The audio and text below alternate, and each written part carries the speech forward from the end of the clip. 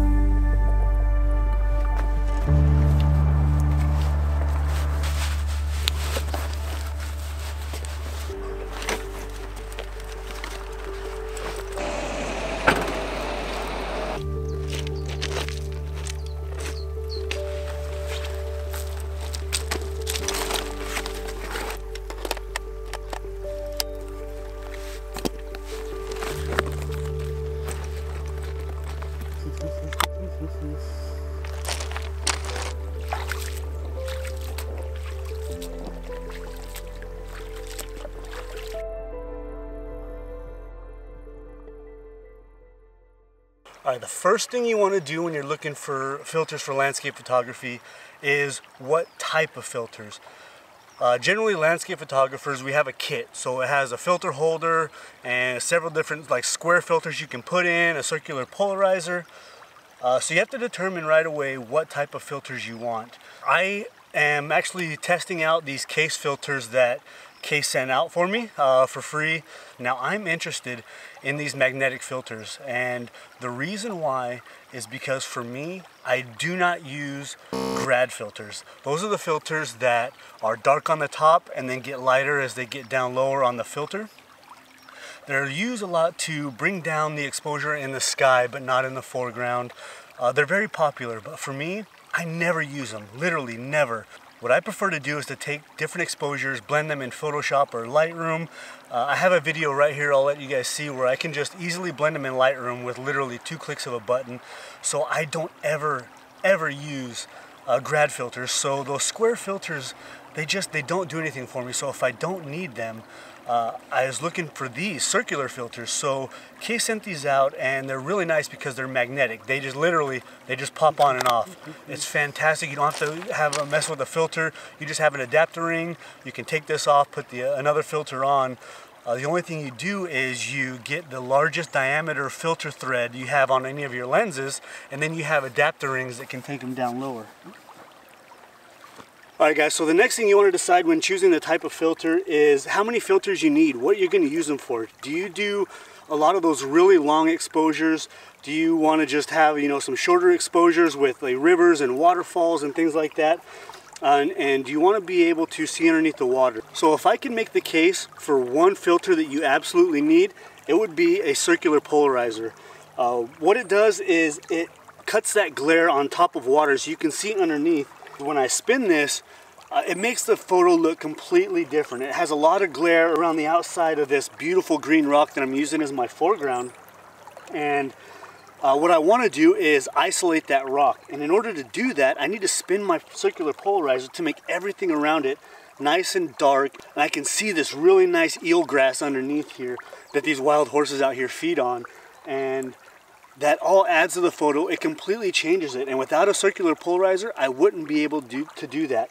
Using things like long exposures for clouds and water, you can actually do that without using an ND filter. You know, a six stop or a 10 stop to get those really long exposures to make that water look nice and silky smooth or to make those clouds look nice and long and look really uh, really dramatic and really ethereal. You can take multiple exposures and combine them in Photoshop to get that same uh, exact look. So you don't need those ND filters, but a circular polarizer, you cannot you cannot cut glare later on in Photoshop. You have to do it out here in the field. So my advice, if it's one only one filter you get, make it a circular polarizer.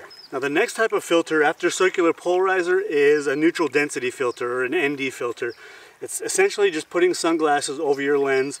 You can get them in all different ranges from 3 stop to 6 stop to 10 stop, even 15 stops. So the more stops of light that this uh, the ND filter has, the longer your shutter speed is going to be and you get those really, really long exposure water or clouds or even those really ethereal looking seascapes with those 10 and 15 stop filters. So uh, I have a 6 stop and a 10 stop. Generally I use my 6 stop. I don't ever really use my 10 stop too much every once in a while. Now as far as graduated neutral density filters, you have a decision to make. Do you want to carry a couple extra filters? You know, you have medium grads, you have soft grads, you have hardline grads, and what those mean are is the uh, amount of graduation between the dark and the light. So some of them are a more soft or gradual. Uh, there's a hard line and then there's a medium, which is in between. And you need to decide on which ones you want to use, if you want to use any, or if you'd rather just take separate exposures and blend them later in post-processing. The reason why I don't like them is because rarely do I ever have a flat horizon. And so if you have like a tree or a cactus, part of that cactus is gonna be a little bit lower exposure than the bottom where there's no grad filter on because of you know the way the grad filter works. It's very uniform all the way down and generally nature doesn't do that. A lot of times you can fix it in Lightroom or Photoshop, but I prefer not to do that. I prefer just to blend them later uh, to me, it's much more natural, but that's just my own preference. You need to decide on whether you want to carry more filters or do more work on the computer. Now the second thing you want to look for when choosing a filter system is color cast. A lot of filters, especially ones that are on the cheaper side, have something called color cast. That means when you put the filter on, it maybe skews a little bit blue or magenta or warm. So you want to try and find something that's somewhat neutral. Now, how to determine the color cast, what you want to do is you want to put the camera's white balance into manual. So you want to be as neutral as possible. And what that means is you want it to match what your eyes are seeing. And this is just an eyeball test, you want to get it somewhat close. Take one shot with a manual white balance take one shot without your filters on and then you take the second shot with your six stop and then take another one with a 10 stop and you can actually go side by side and check to see if they have any kind of color cast. Uh, that's not the end of the world if it does a little bit. Most filters, especially 10 stop filters, have a little bit of a color cast. I know Lee filters used to have, I'm not sure if they still do or not. Uh, when I first got into photography, I bought Lee filters and the 10 stop had the worst blue color cast. It was absolutely terrible. Uh, right now, just so you guys know, I'm setting my white balance to 5,000 Kelvin and I'm gonna leave it there. So I'm gonna take a shot right now uh, with 5,000 Kelvin, no filters. I'm also gonna take a shot uh, with the six stop filter on, still at 5,000 Kelvin, and then I'm gonna take a shot at 10,000 Kelvin, and we're gonna see what that looks like. Just looking on the back of the camera here, it looks like the six stop is just a little bit on the magenta side. Not much, but it's a little bit on the magenta side. And the 10 stop, on the back of the camera anyway, it looks pretty neutral. It looks really similar to the shot I took without a filter, which is pretty, pretty amazing.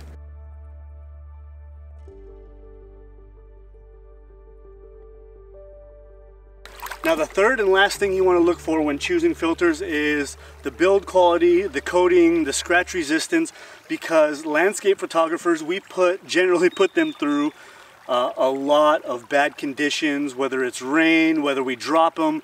I've dropped more filters than I can count. I've broke filters.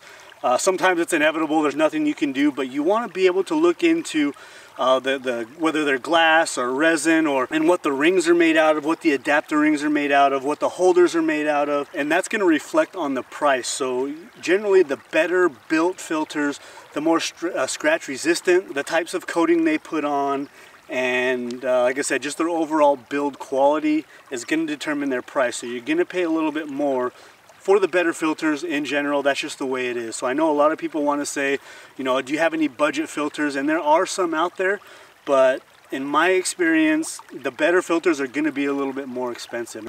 All right, guys, I'm going to take this shot now. I'm going to show you guys this photo in just a second, but thank you guys so much for watching. I really appreciate it. Make sure you hit that subscribe button, and we'll see you on the next one. Bye.